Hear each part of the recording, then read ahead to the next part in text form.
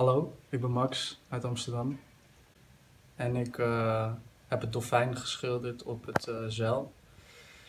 Uh, afgelopen jaar ben ik uh, buiten gaan schilderen omdat er corona was. Dus ik kon de school niet meer in.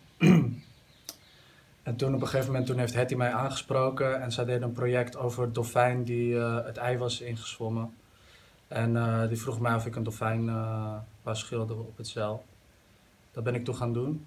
En uh, ja, in mijn schilderingen probeer ik altijd een soort van surrealistisch aspect te doen. Iets vervreemds, iets geks. Dus toen heb ik uh, de dolfijn, die heb ik mensenarmen gegeven, waardoor je een soort van gemuteerd uh, wezen krijgt.